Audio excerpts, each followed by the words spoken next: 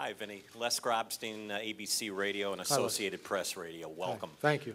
Um, There's a two-part question, real quick. Uh, There was a perception, right or wrong, that a couple of these players didn't put out last year. A couple may have been more worried about their contracts or whatever. Is it a clean slate as far as you're concerned with these guys? The second, any thought of your Benetton teammate, Toni Kukoc, as a possible assistant? Well, Toni's a good buddy of mine. I haven't talked to Tony in a while, but obviously, uh, um, we, we've known each other a long time, but I'm open, open to any suggestions and things. But as far as the, the players go, I would say it's a clean slate for right now. Obviously, we haven't got into the you know full process. My first thing will be to contact all the players and set up meetings and talk to them, and then make opinions from there. Um, but there's no, like I said, no uh, notions in terms, no pres, you know predeceived notions in terms of what I think of players, and you know because I think it's unfair. I think it's unfair, uh, you know, for the players. It's unfair for the organization, myself, just to come in here and say, okay, it was like this last year. It's going to be different this way or whatever. I think you have to give it a little bit of time and work those things out. Man, I don't see that being a problem. I think there's a lot of quality players, a lot of quality people here. Every all the research I've done, all the people I've talked to, obviously. Uh, um, you know, feel the same way. So, you know, this is the this was the premier job to get, and I'm just very fortunate to be here. And I'm going to go into it, um, you know, talking to the players and getting a feel for them as well. Vinny, uh, Rick Morrissey with the Chicago Tribune. Right. Hey, Rick. Hi. Um, obviously, this is a professional highlight for you today.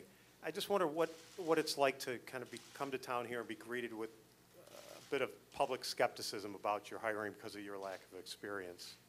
I, I think it, you know, that, that's a that's fair. I mean, hey, I haven't coached before, but I, like I said before, as people get to know me and um, get around me and we talk and get to know what I believe in and and, and get this team going in the right direction. Um, obviously, winning builds confidence, and there's a young team here, and they need a little bit of a confidence boost, I think. And it's not going to be a. I'm not like I said before. I'm not a magician.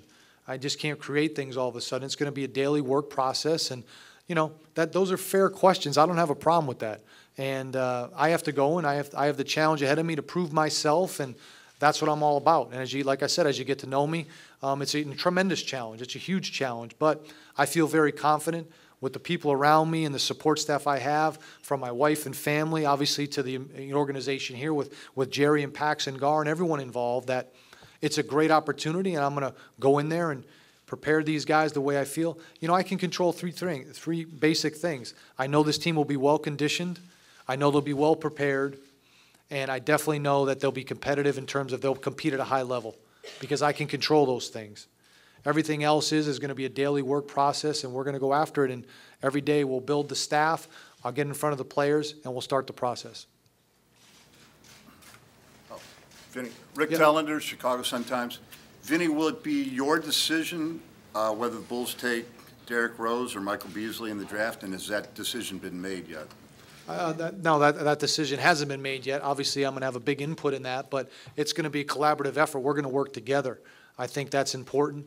Um, I've been in the front office. I've done all those, you know, those things, and I've scouted all those players this past year and things. But, you know, you know, ultimately it becomes down to our relationship, and, and Gar Forman involved heavily, and obviously Jerry. But the basketball decisions will be made by us, and uh, we'll have our feelings on things. We'll bring those guys in next week and get to know them a little bit better and work them out and things. But there isn't any decision made yet. Obviously, the focus has been this, and we have other people working on that. But um, it, it's an exciting time, obviously, to have the number one pick and how we feel it'll work. And um, you might want to comment on that a the little bit. The decision hasn't been made, Rick, so. uh,